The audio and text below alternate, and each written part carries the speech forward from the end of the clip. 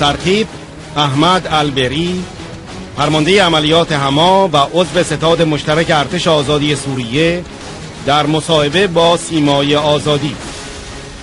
رژیم ایران از دیکتاتور سوریه حفاظت می کند تا از خودش در منطقه حفاظت کند.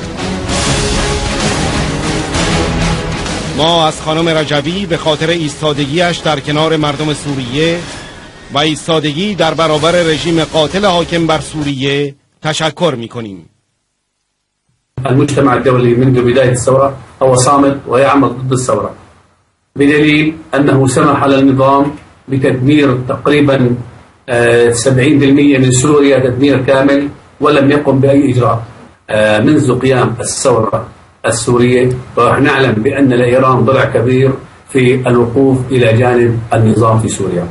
إيران تعتبر النظام السوري هو قاعدة أو ركز إلى كما قالت إيران أكثر من مرة بأن سوريا هي المحافظة 35 أو 36 من إيران.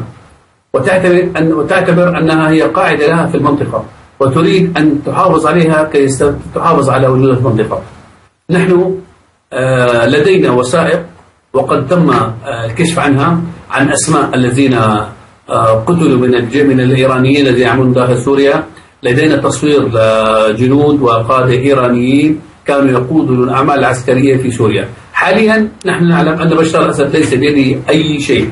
إنما الذي يقود المعركة ويقود القتال في سوريا هن عبارة عن إرهابيين إيرانيين بهدف زعزعة المنطقة وجلد جلد وسحب المنطقة إلى أسوأ في المستقبل. نحن نقول للإيرانيين نرفضكم الآن ومستقبلا أولا نحن نعلم بأن مجاهدي خلق وكثير من الشرفاء في إيران لا يقبلون بما يقوم به النظام الإيراني. ونعتبر أن السيدة الرجوي هي الرئيسة الفعلية لإيران. نحن نشكر السيدة الرجوي على وقوفها إلى جانب الشعب السوري وإلى بياناتها ضد النظام القاتل في سوريا.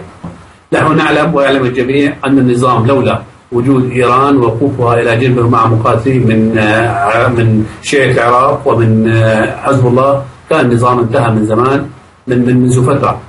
وإنما وجود هؤلاء الواقفين إلى جانب النظام أولا بالمال ثانيا بالسلاح ثالثا بالمقاتلين هو الذي طول عمر الثورة السورية وهو الذي خلى النظام واقفا حتى الآن. بدأ النظام يتهوى في معظم المحافظات السورية. بالأمس 13 قرية في ريف حلب في ريف حماة الشرقي 23 قرية سقطت في الأسبوع الماضي. النظام يتهاوى وإنما الذي يدعم ويسند النظام هو هم القادة الإيرانيين الموجودين على السلطة حاليا وهم نعتبرهم دمويين وهم الذين غرروا في الشعب في الشعب الإيراني وقادوه إلى معركة ليس لهم علاقة بها. الله يعطيك العافية ونشكر نحن كل الشرفاء في إيران. على وقوفهم ونشكر مرة أخرى السيدة رجب.